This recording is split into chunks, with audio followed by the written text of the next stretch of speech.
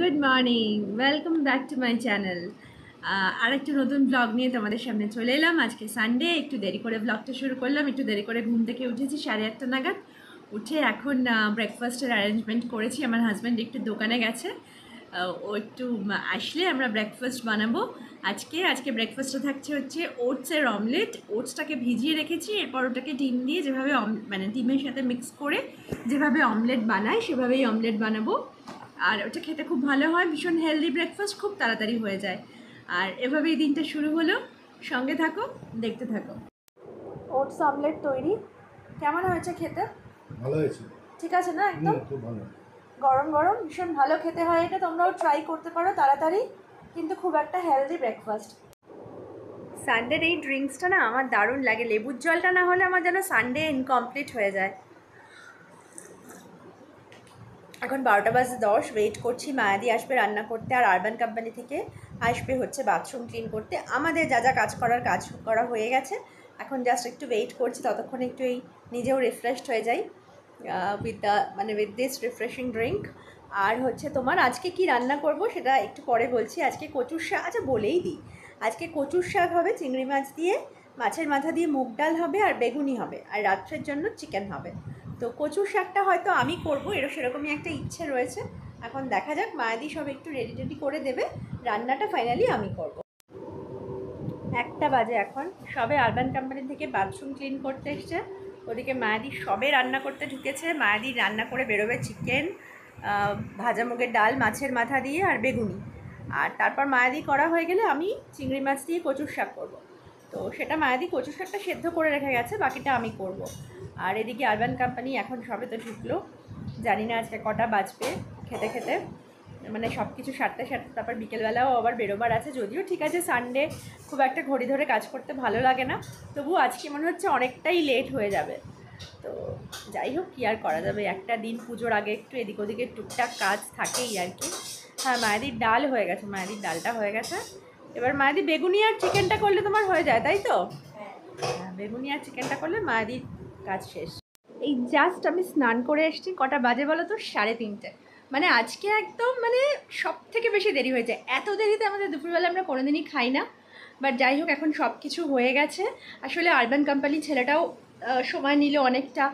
ও গেলে আবার ঘরটারগুলো ভালো করে ক্লিন করতে হবে এইসব করে। অনেকটাই সময় লাগল। এখন লাঞ্চ করব, করেই বেরোবো। একটু টুকটাক জিনিসপত্র কেনার আছে, সেগুলো কিনবো। কিনে তারপর একটা জায়গায় যাব। সেটা এখন বলছি না। তো আমি তোমাদের ব্যাক ক্যামেরা করে দেখাচ্ছি, দাঁড়াও এখন কটা বাজে। দেখো, বাজে হচ্ছে তিনটে পঁচিশ। জাস্ট স্নান করে এলাম। আজকে দুপুরের সিম্পল মেনু ভাত। এটা হচ্ছে বেগুনি ভাজা আছে, এটা মায়াদিই করে গেছে। এটা চিকেনের ঝোল, এটা মেনলি রাত্রের জন্য। আর এটা হচ্ছে তোমার চিংড়ি মাছ দিয়ে কচুর শাক, যেটা আমি বানিয়েছি। আর এর নিচে আছে, দাঁড়াও। মাছের মাথা দিয়ে ভাজা মুগের ডাল। আর দেরি না করে এখন চট করে লাঞ্চটা করে নেব। লাঞ্চটা করে হয়তো পাঁচ দশ মিনিট একটু রেস্ট নেব, তারপর বেরোবো। রেডি হয়ে গেছে? এখন বেরিয়ে পড়ব, এই ছাতা নেবে গো? হ্যাঁ? বৃষ্টি পড়- পড়তে পারে কিন্তু। এই যে আমার হাজব্যান্ডও রেডি হয়ে গেছে একদম। এবার জাস্ট বেরোবো। প্যান্টালুন্সে ঢুকি একবার। দেখি কী কালেকশনস আছে। চলো ঢোকো একবার দেখি।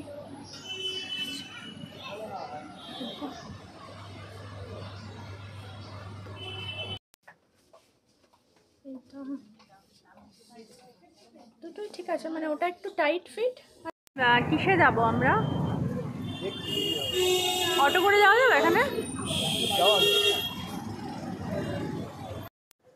মানির বাড়িতে এসেছি আমরা।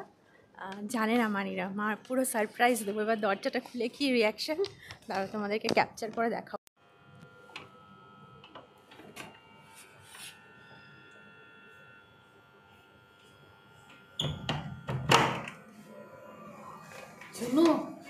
পেরু।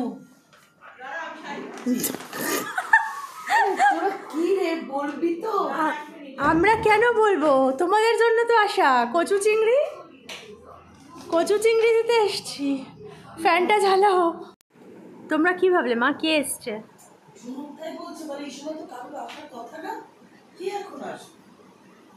আবার বলছে দরজা খুলতে দেরি হবে। আমরা শপিং টপিং করে চলে এলাম। হ্যাঁ। আরে আমি শপিং করে আসলাম ভাবলাম সেই এক সপ্তাহ ধরে ফ্রিজে রেখে দেবো এটা ইয়েস আমার সব শপিং মাই দেখায়। আচ্ছা হ্যাঁ এটা আগে খোলো। এটা গৌতমের এক নম্বর টি শার্ট এটা প্যান্টালুন্স থেকে নিয়েছি। বিল পড়ে গেল ঠিক আছে পরে হ্যাঁ তুলে দেবো.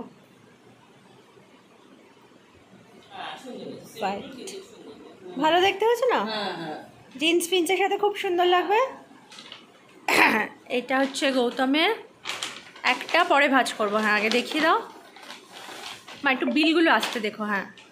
হ্যাঁ ঠিক আছে ঠিক আছে। হ্যাঁ বিলটা পড়ে গেছে। এটা বাবার জন্য কিনেছি। আচ্ছা হ্যাঁ মা দেখো বাবার। ও পুজোর সময় স্যান্ডো গেঞ্জি কেউ দেয় না। ঠিক আছে দেখো এটা ভালো হয়েছে তো? খুব সুন্দর হয়েছে। এরকম গেঞ্জি পরে তো তো। হ্যাঁ। সাইজটাও তো ঠিক হবে তো মা? একদম একদম। ভালো হয়েছে না মানে একদম একদম খুব সুন্দর হয়েছে এইটা আর এটা হচ্ছে ওর আরেকটা ফুল স্লিভ এটা গৌতমের একটা ফুল স্লিভ হ্যাঁ হ্যাঁ হ্যাঁ। দুটো হাতা হয়েছে। হালকা হ্যাঁ হ্যাঁ হ্যাঁ। কলকাতার যা ঠান্ডা পড়ে সেটাতে এটা সাফিসিয়েন্ট ভালো হয়েছে না? হ্যাঁ হ্যাঁ হ্যাঁ আজকে এই কেনা দিয়ে মোটামুটি আমার পুজোর শপিং দা এন্ড হয়ে গেল। আমরা না খুব সম- ঠিক সময় চলে এসেছি জানো তো? মানে যেহেতু একটু তাড়াতাড়ি বেরিয়েছিলাম চারটের মধ্যে, চারটে সোয়া চারটের মধ্যে বেরিয়ে গেছিলাম। সব কিছু করে একটু মানির বাড়িতে গেলাম। দেখলেই তো আসলে কচু চিংড়ি করেছিলাম। তো মানু বলে, মানি বলেছিল, রেখে দিস। যখন মাকে আনতে আসবি পরের উইকে তখন দিস তো। এতদিন তো কচু চিংড়ি ফ্রিজে রাখলে সেই টেস্টটা থাকবে না। তাই ব্যাগে করে নিয়ে গেছিলাম। একটু কচু চিংড়ি দিয়ে চলে এলাম। ভালোই হয়েছিল খেতে। তো এই আর কি, আর দেখো এখন আটটা বাজে এসে ফ্রেশ ট্রেশ হয়ে সব কিছু হয়ে গেছে।